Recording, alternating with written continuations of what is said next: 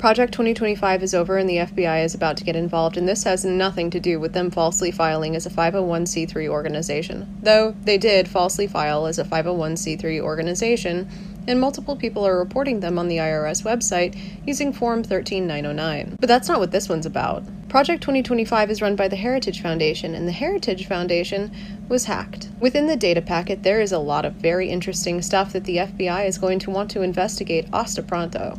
What you're looking at at the bottom of the screen is a bunch of different IP addresses for people involved within the think tank. You can see the locations of those IP addresses. That's China. The Heritage Foundation was hacked and was apparently discovered to have ties to China.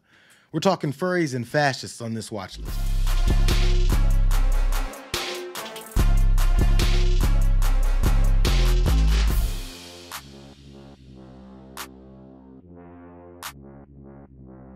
Now, given the fact that the Heritage Foundation falsely filed as a 501c3 organization, I highly doubt that they filed any of the forms to let people know that they were lobbying on behalf of a foreign government. But they appear to be lobbying on behalf of a foreign government, and considering how much they've been ranting and raving about China getting involved in our politics, this one's pretty funny.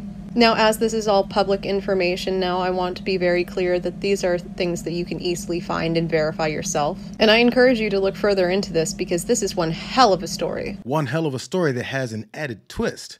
The hackers are gay furry hackers that breached the Daily Signal, a site run by Heritage, and released two gigabytes of internal data that they dug up.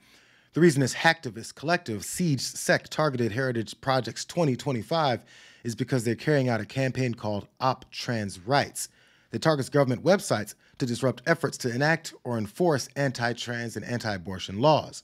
So, Mike Howell, former Trump official and current executive director of Heritage's Oversight Project, reached out to the hackers to get answers. Mike Howell, would you like to meet virtually or send an emissary to meet in person? Vio, I would like to be left alone without my rights being threatened. Then Mike responds, Are you aware that you won't be able to wear a furry tiger costume when you're getting pounded in the in the federal prison I put you in next year? Vio, such unprofessional language from an executive director. Would you mind if I shared this?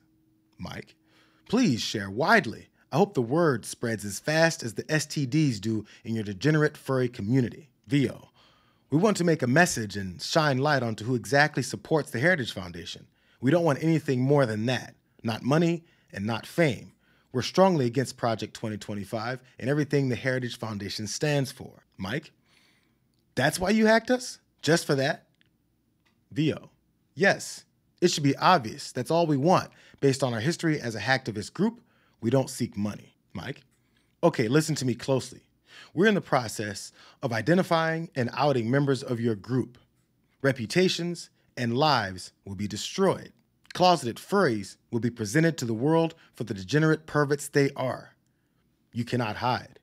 Your means are minuscule compared to mine. You now can either turn yourself in or you can cooperate. So it was a bunch of chest pounding, not the other kind of pounding that he imagined that came from Howell. So even though Project 2025 has kind of been flying under the radar for a couple of years, Heritage finds its name in the middle of this race, where Trump was forced to obviously lie about it. But the guy that threatened the country if everyone doesn't accept a dictator, he gave him a pass. What do you take away from Donald Trump distancing himself from your project? Well, I First of all, thanks for the question. I think that if you consider that the Biden campaign has spent $15 million on attack ads, obviously primarily on President Trump, our standard bearer this year, but some millions of those have gone against Project 2025 in particular, then if you're running for president and you're trying to win not just any campaign, but what we think at Heritage is the most significant campaign in modern American history, then it makes sense that politically you want to pivot from that. There are no hard feelings from us at Project 2025 or Heritage about that. We love President Trump. So when you see President Trump say this and what you envision as being behind it tactically? Well, I, I think it's the, the sign of a great leader who understands he's in a, a terrific political news cycle. He's run a really good campaign from start up to this point, and the, the left's mis, mischaracterization of Project 2025 had become a liability. I think we, we've seen that really turn around in the last few days since that statement. So, no hard feelings from any of us at Project 2025 about the statement because we understand Trump is the standard bearer, and he's making a political, tactical decision there. Kevin still loves President Trump, sees him as the standard bearer of their promise to turn America into a fascist state. These kinds of obvious admissions of his knowledge and connections to this plan are happening because, as Roberts before promised, bloodshed, they feel that they have the courts. And once they feel that they can do whatever they want, they don't care if people know. They're planning on doing it anyway. But it's not like they were trying very hard to hide it before.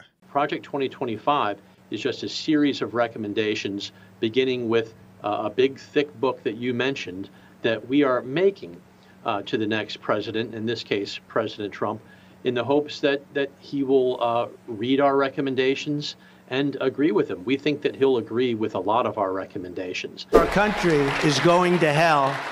The critical job of institutions such as Heritage is to lay the groundwork, and Heritage does such an incredible job at that. This is a great group, and they're going to lay the groundwork and detail plans for exactly what our movement will do and what your movement will do when the American people give us a colossal mandate to save America. And that's coming. That's coming. That was Stephen Groves, the former Trump White House deputy press secretary and the co editor of Project 2025, talking about how sure he is that Trump will be on board.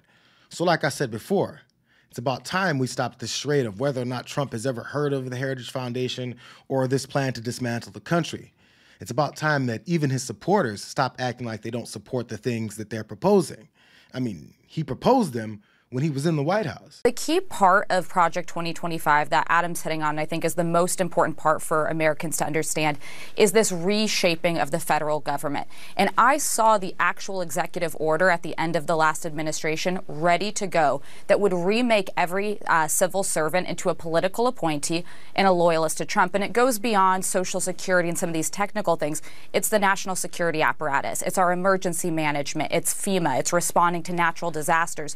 Uh, pandemics. Those would all be our subject matters. The Dr. Fauci's of the world would be replaced with whatever loyalists he puts into those positions. This aspect might be what MAGA World and Heritage are concerned with supporters discovering that their overhaul of the government would be so sweeping that the people that they place in mundane but important positions, strictly based on their loyalty to Trump, may screw things up because they aren't qualified to work there since fealty is the only requirement. Do you buy what President Trump is saying no, about no. not knowing anything about it? No, of course he knows it. Look, he's he's Heritage Foundation plays a very important role in his campaign. And let's also, quick aside, keep in mind the Heritage Foundation recently flew the American flag upside down, which somehow is cool now to do even though that used to be a very anti-American thing. So he knows, his people around him know, they're, they're deeply involved in this.